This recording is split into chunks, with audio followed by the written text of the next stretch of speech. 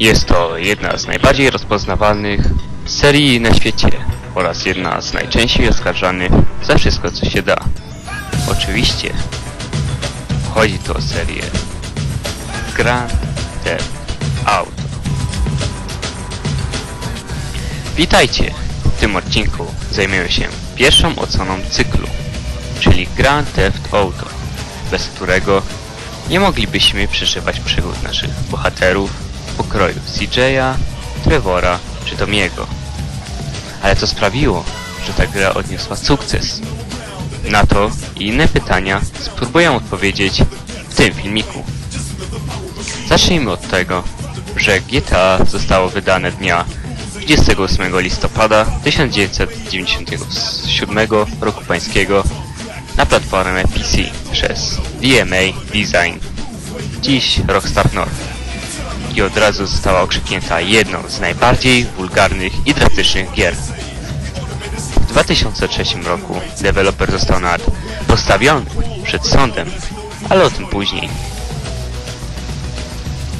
Sukcesem gry była jej otwartość. Od pierwszego uruchomienia dawała wolną rękę graczowi, który wybierając jednego z kilku śmiałków, może zrobić praktycznie to, co mu się podoba. Kraść samochody, zabijać ludzi, robić zlecenia, bawić się z mundurowymi i tym podobne. Pojazdów, którymi możemy zwiedzać nasze miasta jest około 72. Sporo, nie? Przez to liczba broni, którymi można kogoś zabić, wypada mizernie. Mamy ich cztery rodzaje, od pistoletu, przez karabin, miotacz ognia, po bazukę, czyli coś o czym każdy marzy. Hm. Świat gry składa się z trzech amerykańskich metropolii. Kolejno Liberty City, czyli Nowy Jork, San, Andrea, San Andreas, przepraszam, czyli San Francisco, które zostało w późniejszych wersjach rozbite na stan, oraz Vice City, odpowiednik Miami, które dodatkowo składają się z dwóch etapów. W Grand Theft Auto opcja zapisu nie istnieje. Możemy jedynie odblokować miasta i ich etapy, przez co gracz musi spędzić kilka dobrych godzin przechodząc tych kilka etapów, co może zniechęcić niektórych. Głównym celem w grze jest nabicie jak najwięcej dolców, dzięki którymi przechodzimy między etapami oraz miastami. Policja jest nierozłączną częścią serii. GTA 1 oznaczona jest głowami policjantów gdzieś na górze, po środku, które są zanimowane. I ma cztery poziomy, czyli o dwa mniej niż w częściach będących już pełnych, czyli takich jak GTA 3 czy GTA 5. Omówmy je. Pierwszy. Jeden patrol rusz, rusza za graczem i szturmuje auto, jednak można je zgubić. Drugi. Tutaj nie da się już zgubić pościgu. Gracz jest poszukiwany przez każdy radiowóz w mieście.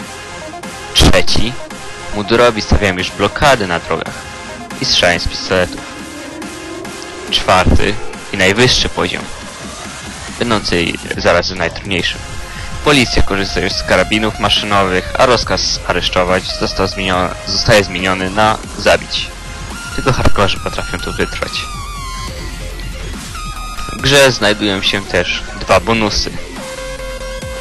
Go Ranga, jeśli dobrze to czytam, gdzie trzeba było zabić cały pochód jednocześnie.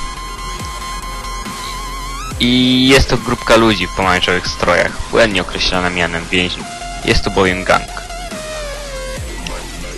Kill Frenzy, gdzie trzeba było zniszczyć wszystkie auta jakie się da, albo pozabijać jak najwięcej przechodniów, których się spotkało w jak najkrótszym czasie.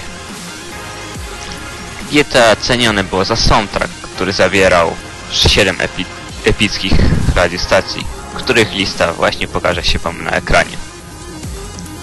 Gdyby nie one, GTA byłoby praktycznie nudne. Gra była tak dobra, że rok po premierze na PC wydano ją na PSX-a, a dwa lata później dzięki Tarantula Studios. Teraz Rockstar Lincoln na Game on Color. Dziwne, Rockstar praktycznie wszystko wykupuje. W tym, że roku wydano też dwa dodatki do jedynki, które są praktycznie jednymi z najsławniejszych dodatków. Grand Theft Auto London 1969 if you know what I mean.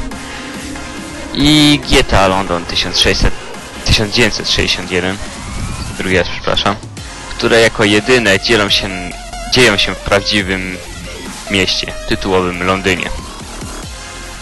Je, są tu też doda są tu też części gry, które dzieją się praktycznie najwcześniej.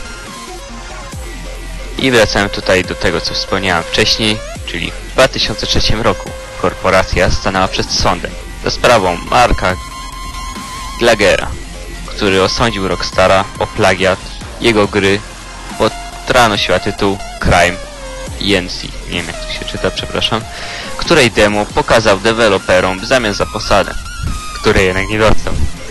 Zażądał horrendalną kwotę 1,5 miliona funtów szkodowania. Za to nie wiem, moglibyście kupić porządne sportowe auto i dom. Kurde. Co najdziwniejsze jest to, że skierował sprawę dopiero 6 lat po premierze GTA. Aż mi się coś innego przypomniało. Hmm, tak więc to na dzisiaj to by było na koniec. Dzisiaj taki krótki filmik. Widzimy się w kolejnym odcinku Retro Games. A tak, zapomniałem. Mam dla was jeszcze kilka ciekawostek.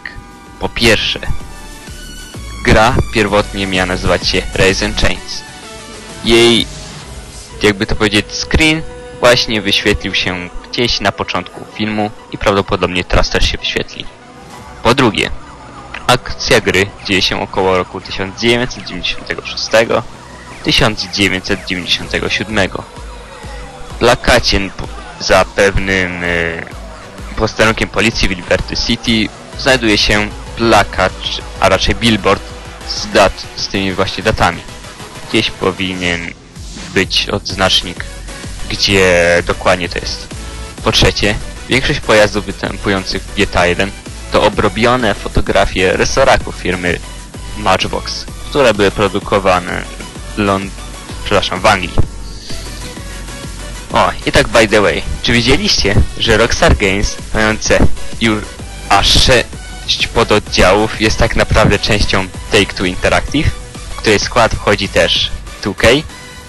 Napiszcie w komentarzach, co o tym sądzicie. Bez, nie zapomnijcie o subskrybowaniu mojego kanału. Cześć!